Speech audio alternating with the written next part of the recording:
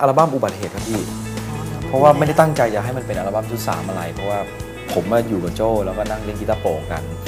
แล้วพอทำก็มีเพลงมานั่งคุยกันก็นึกเออ น่าทำอะคูสติกสักอันก็คุยกันในทางเบเกอรี่ปรากฏตอนนี้ท่าไหนไม่รู้มันเป็นอัลบั้มสามไปได้ มันเป็นอัลบั้มที่ไม่ได้ไม่ใช่แนวทางของวงที่ทำไว้ตั้งแต่แรก เราเพราะดนตรีมันเบาลงใช่ เราอยากเป็นวงล็อก มันกลายเป็นว่าชุด3เนี่ยผู้คนส่วนใหญ่มองว่ามันเป็นอัลบั้มที่ลงตัวของพอสโอ เคโจก็เคยพูดไปด้วยว่าเออถ้าใครคนใดคนหนึ่งไม่อยู่แล้วก็เลิกเลย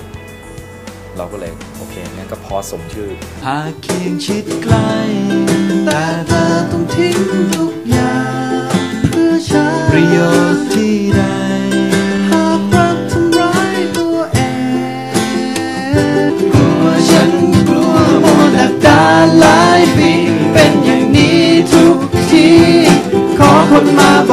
เ